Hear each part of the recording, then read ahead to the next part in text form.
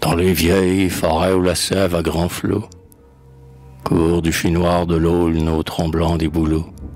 Bien des fois, n'est-ce pas? À travers la clairière, pâle, effaré, n'osant regarder en arrière, tu t'y hâté, tremblant et d'un pas convulsif, au mon maître Alfred Dürer, au vieux peintre pensif. On devine, devant tes tableaux qu'on vénère, dans les noirs taillis ton œil visionnaire voyait distinctement, par l'ombre recouvert, le faune aux doigts palmés, le sylvain aux yeux verts, pan qui revêt de fleurs lentes où tu te recueilles, et l'antique dryade aux mains pleines de feuilles. Une forêt pour toi, c'est un monde hideux. Le songe et le réel s'y mêlent tous les deux.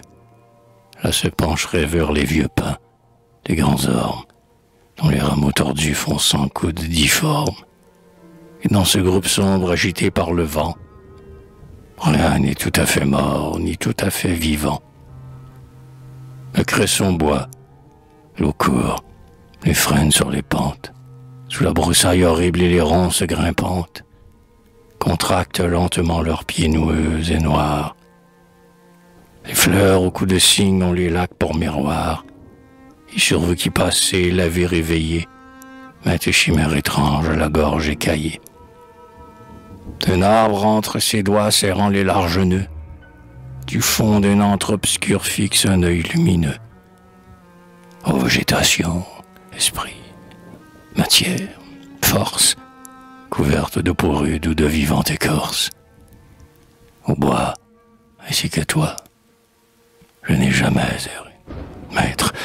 Sans qu'à mon cœur l'horreur ait pénétré. Sans voir tressaillir l'herbe, et par le vent bercé, pendre tous les rameaux de confuses pensées. Dieu seul, ce grand témoin des faits mystérieux. Dieu seul le sait, souvent, en de sauvages lieux.